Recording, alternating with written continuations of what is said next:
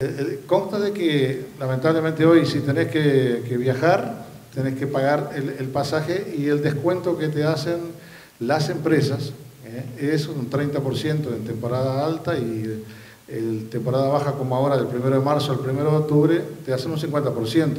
Pero ¿qué pasa?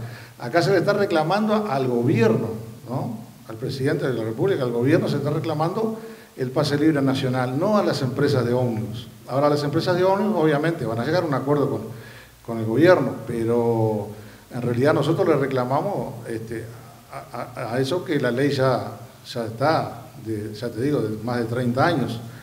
Ahora como no se llevó a cabo, bueno, estamos luchando por eso.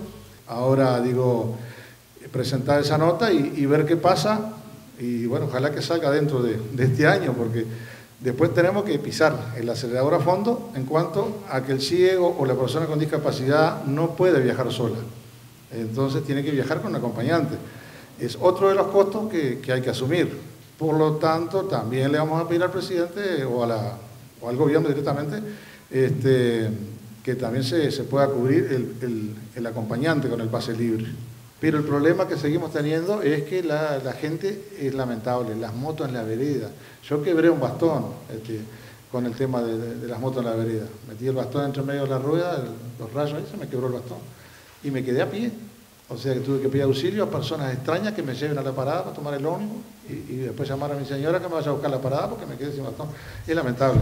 De esas cosas este, eh, han pasado este, unas cuantas. Los contadores de la luz están a la altura de la cara de la persona.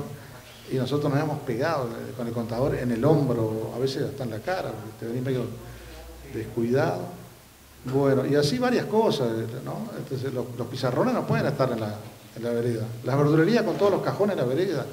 Y yo sé que no es porque la Intendencia no, no, hizo nada o porque los ediles no hicieron nada. Yo sé que han hecho mucho, pero el tema es que la gente, lo único que hay que hacer acá es aplicarle a rajatabla, multa y listo, porque no es así la cosa.